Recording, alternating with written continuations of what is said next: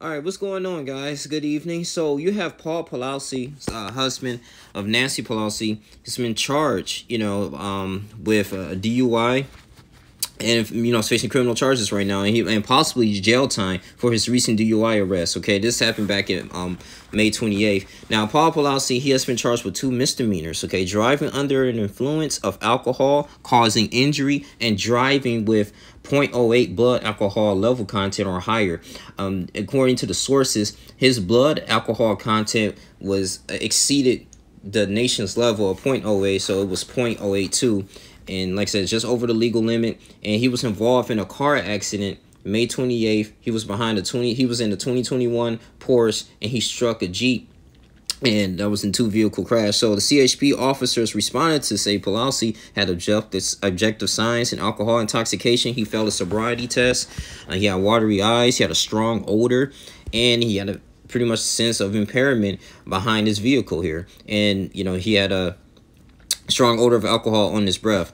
Now, interesting enough, though, Pelosi, he actually handed the officers 1199 Foundation, and that's pretty much this. it's just a foundation card that's showing your support for the CHP uh, officers and their families and scholarships. Now, the most that he can do as his penalty could be up to five years of probation and uh, five days, minimum five days in jail. Okay. And um, he was arrested, you know, in that particular time. I kind of brushed it under the rug. I was going to talk about it, but, you know, they didn't, I didn't get any type of uh, news coverage. Now, Nancy Pelosi, to my knowledge, she wasn't really, to her turn now, she wasn't aware of what was going on. You know, she's the Speaker of the House. and, you know, this is, she has a vital job. So I know she's, you know, working in the Capitol and White House a majority of the time. But the police also know the victim uh, had a pain in his arm, had a shoulder in his neck, had trouble lifting things. It was in medical care from his doctor.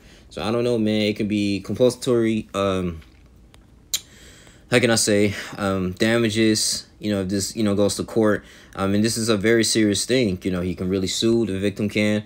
And, you know, there were rumors that the California governor, uh, Gavin Newsom, actually, you know, helped him out, uh, stepped in to help Paul Pelosi. But that actually has been uh, retracted from the DA's office and said that he never intervened to have all the DUI charges against Paul Pelosi dropped. So pretty much there were rumors. I really see how I'm really what's gonna be what's gonna happen to him. He may you know be in house arrest. You know, I'm thinking. I mean, he has the money, he has the influence to go ahead and you know, not spend the rest of his uh, days in jail because he didn't kill anyone, but it's still unfortunate. I mean, you know, kind of rich and powerful, so he may have uh, different standards than regular folks, you know, in a way. So all these connections that you may have, um, especially due to his wife. But at the same time, man, you know, I, I I'm glad that it didn't really led to anyone dying. But come on, man, you gotta you gotta be responsible. You know, drinking the comfort of your own home. Can't feel sorry for him. You're an older gentleman. You should know better. But we'll see if I like I say if I get any more information, I'm gonna go ahead and make a part two about it. But I think he's right gonna may do just do a house arrest or probably be forced to go to an alcohol anonymous uh, treatment center and facility and make amends of his relationship if he has really uh, a serious drinking problem, man. So that's all I really have to say. You guys between like, comment, subscribe.